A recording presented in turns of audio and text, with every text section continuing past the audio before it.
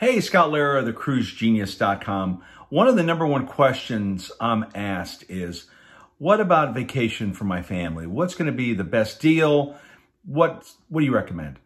And I'll have to say cruises continue to be a great value for families. Now, cruise prices are going up significantly, so you don't want to wait to book your cruise vacation. The next question is, what cruise line? Well, if you want Disney, that's going to be more expensive. But of course, you have Carnival, you have Royal Caribbean, you have Norwegian, you have MSC. There's lots of different cruise lines out there that you can choose from.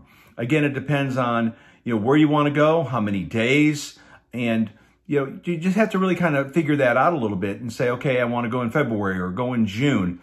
You have to realize that when you cruise during off school time, it's going to be more expensive.